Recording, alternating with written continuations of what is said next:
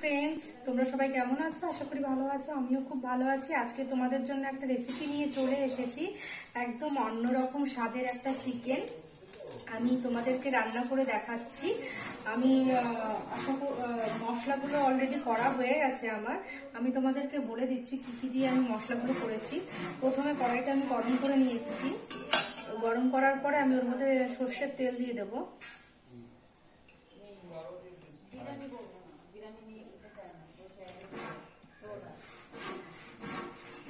এবার তেলটা গরম হতে থাকুক, তার মধ্যে আমি দিয়ে দেবো। আগের থেকে রেডি করে রাখি। এলাচ, দারচিনি লবঙ্গ, গোলমরিচ, আস্ত গোলমরিচ। গোলমরিচ, আস্ত দিলে টেস্টটা খুব ভালো হয়। দারচিনি।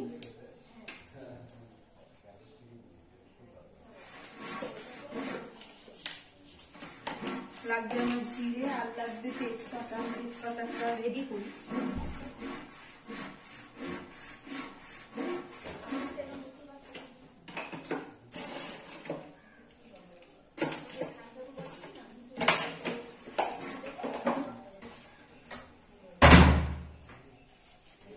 তেলটা গরম হয়ে গেছে ফার্স্টে আমি তেজপাতাটা দিয়ে দেবো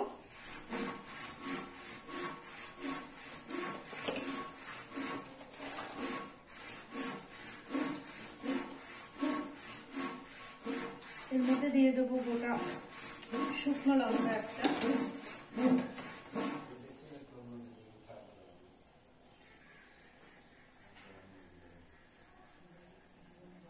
এখানে আমি মশলাটা বলে দিই। এখানে আমি নিয়েছি এক হাফ টমেটো, দুটো বড় সাইজের পেঁয়াজ, আর নিয়ে নিয়েছি এর মধ্যে রসুন, কয়েক, কয়েকটা পিস রসুন আর অল্প একটু আদা। এটা আমি একসাথে পেস্ট করে নিয়েছি। আর একটা পেস্ট করেছি, সেটা হলো এটা। এর মধ্যে আমি নিয়ে নিয়েছি ধনে পাতা, কাঁচা লঙ্কা কাজু বাদাম আর নিয়েছি ধনে। এটা হলো একসাথে এটা পেস্ট তেল গরম হয়ে গেছে, আমি এবার এর মধ্যে দিয়ে দেবো একটু জিরে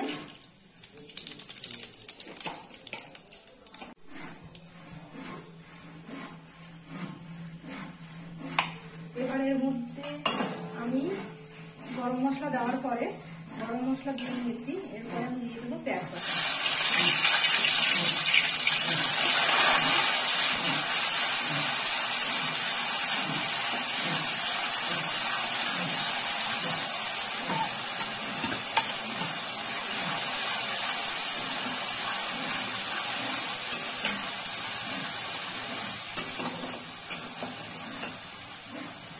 এখানে দেখো আমি এখানে লেগ পিস নিয়েছি দুটো বড় বড় সাইজের। আর কয়েকটা বড় সাইজের পিস নিয়েছি। এটাকে আমি নুন, হলুদ আর সর্ষের তেল আর একটু লঙ্কার গুঁড়ো দিয়ে মাখিয়ে রেখেছি। এটা আধা ঘণ্টা মতো মাখানো রয়েছে।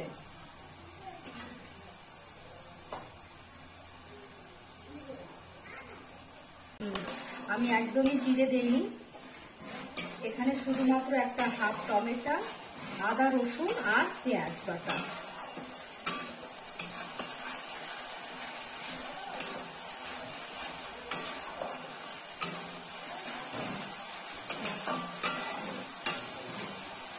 এটা পুরো কাঁচা লঙ্কা দিয়ে রান্নাটা করব আমি। এটা কাঁচা লঙ্কা ধনে পাতার জন্য এই সবুজ কালারটা হয়েছে দারুণ আর সেন্টটা অসাধারণ আসছে। আর এখানে আমি কাজু বাদাম বাটা ধনে বা ধনেটা বেটে নিয়েছি। আমি একদমই এই চিকেনে জিরে বাটা উম, যা দিয়েছি ফোড়নে দিয়েছি। এটা একদম মানে অসাধারণ একটা চিকেন হতে চলেছে। এটা একদমই আমার একান্তের রেসিপি নিজে তৈরি করলাম। জানি না কেমন খেতে হবে, আশা করি খুবই ভালো হবে।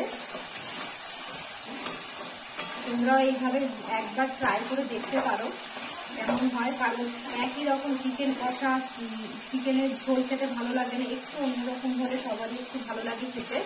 তো আমিও সেইভাবেই একটু অন্যরকম করার চেষ্টা করলাম। তো দেখি এটা কেমন হয়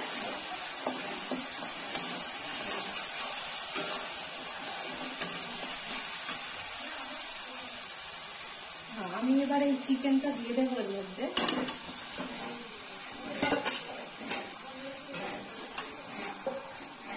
একসাথে আমি এটা কষাবো, যেহেতু এটা বড় বড় পিস আছে একটু কষাতে হবে।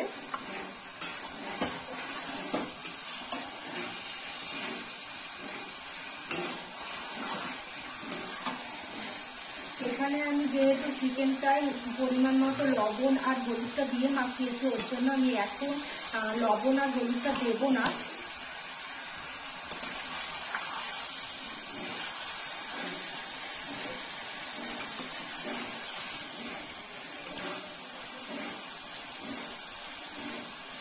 এটা হতে থাকুক, আমি এটাকে ঢেকে দেব। মিডিয়াম দেখো, আমি ঢাকনাটা উঠিয়ে নিয়েছি, আমি এখনও অনেক, ও বাবা, অনেকটা কষাতে হবে এখনও। আমি এবার এর মধ্যে একদম অল্প একটু, এক ঢাকনারও কম, ছোট ঢাকনা, এক মানে এক চামচও নয়, আমি একটু ভিনিগার ছড়িয়ে দেবো, যাতে চিকেনটা গলে যায় তাড়াতাড়ি।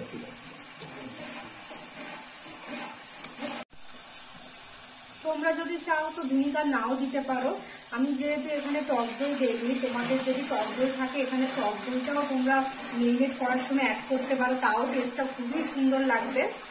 যেহেতু এখন আমার কাছে টক দইটা নেই, সেহেতু আমি একটু ভিনিগার দিয়ে দিচ্ছি।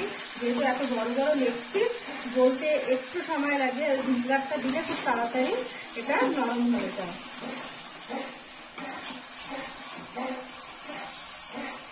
চলো, এটা হতে থাকুক, আমি আবার এটা রেখে দিই।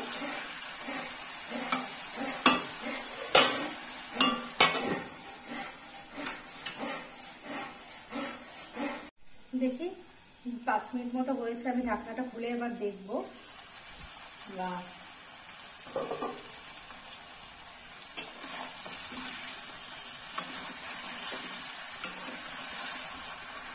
এবার আমি এই যে যে বাটা মশলাটা ছিল মানে কাঁচা লঙ্কা আর ধনে পাতার আর ধনের যে বাটাটা আছে, এটা আমি এবার এর মধ্যে দিয়ে দেবো।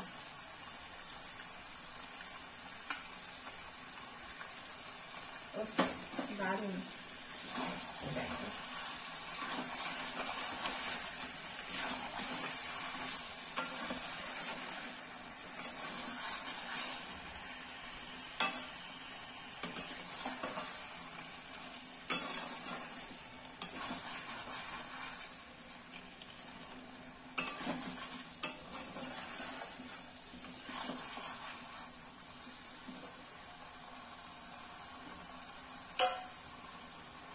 মানে বাটিটা আমি একটু ধুয়ে, জলটা আমি দিয়ে দিই মধ্যে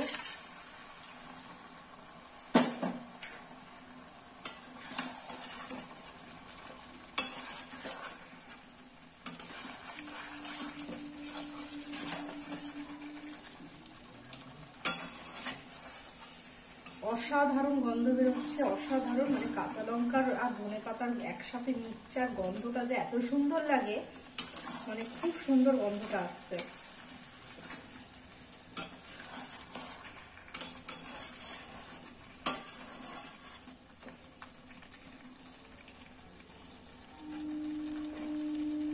এটা এবার আমি পনেরো মিনিটের জন্য ছেড়ে দেবো ঢাকনা দিয়ে। আর এটা হতে থাকুক, চলো পনেরো মিনিট পর আমি ফিরে আসছি। দেখতে থাকো তোমরা। দেখো বন্ধুরা, আমি একটু উঠিয়ে দেখছি কেমন হয়েছে। তো আমি এবার এর মধ্যে অ্যাড করব একটু চিনি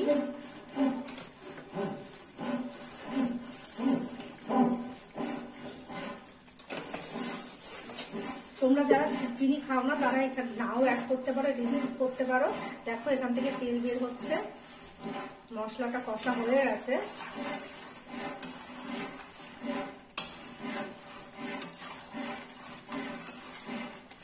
আমি আরেকটু টাইম এটাকে বসাতে চাই। এখানে আরেকটু টাইম কষবে।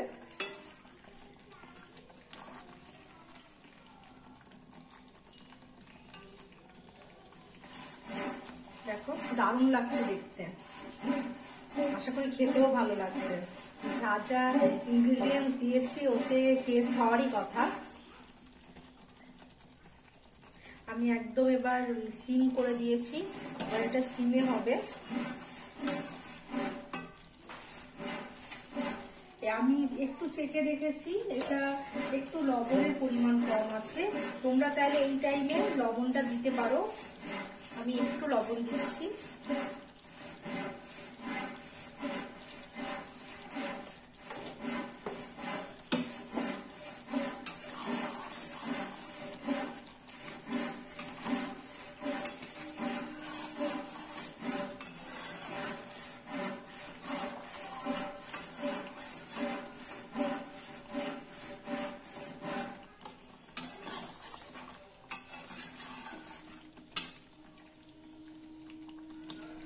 এবার আমি এর মধ্যে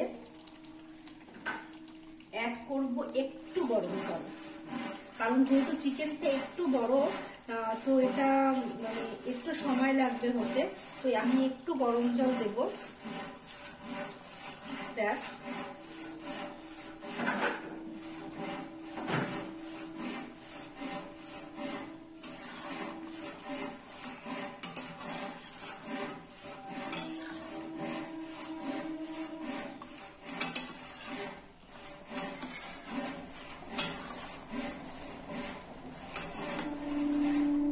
এবার আমি এটা আবার পনেরো মিনিটের জন্য ঢেকে দেব। চলো পনেরো মিনিট পর আবার ফিরে আসছি। দেখো বন্ধুরা, আমি ঢাকনা খুলে দিয়েছি। দশ মিনিট মতো হয়ে গেছে। আমি এবার, এটা হয়েই এসেছে। আমি এবার এর মধ্যে একটু গোলমরিচের গুঁড়ো দিয়ে দেবো। বেশি নেই, এক চিমটি মতো গোলমরিচের গুঁড়ো।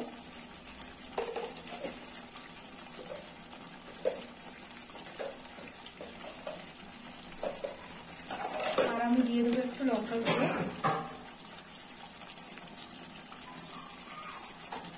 কি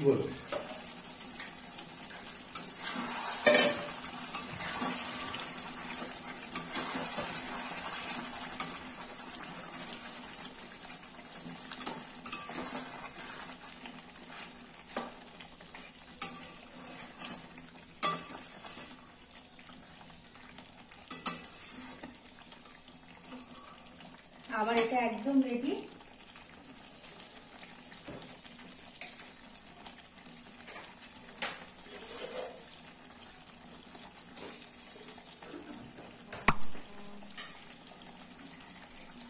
এবার আমি এর মধ্যে দিয়ে দেব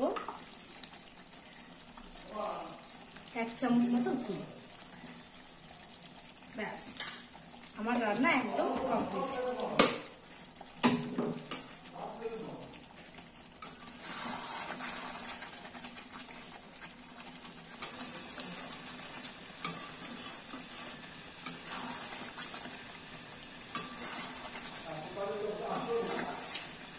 চলো আমার রান্না একদম রেডি আমি এবার তোমাদেরকে সার্ভ করে দেখাচ্ছি। দেখো বন্ধুরা, আমার চিকেন একদম রেডি আমি এটাকে চিকেন চাপও বলতে পারি, বা গ্রিন চিকেনও বলতে পারি। দারুণ দারুণ হয়েছে দেখতে। আর খেতেও অসাম হয়েছে। একটু টেস্ট করে দেখেছি অসাম হয়েছে খেতে। তোমরাও অবশ্যই এইভাবে বাড়িতে বানিয়ে দেখো। কেমন হয়েছে আমাকে অবশ্যই জানিও। কারণ এটা একদম অন্যরকম একটা চিকেন আমরা সবাই চিকেন খাই, কিন্তু এক- একটু আলাদা চিকেন হলে সবাই একটু ভালোবাসে খেতে। তো চলো, ভিডিওটি ভালো লেগে থাকলে অবশ্যই লাইক কমেন্ট শেয়ার করে দিও। আর আমার চ্যানেলটিকে সাবস্ক্রাইব করতে একদমই ভুলো না। আর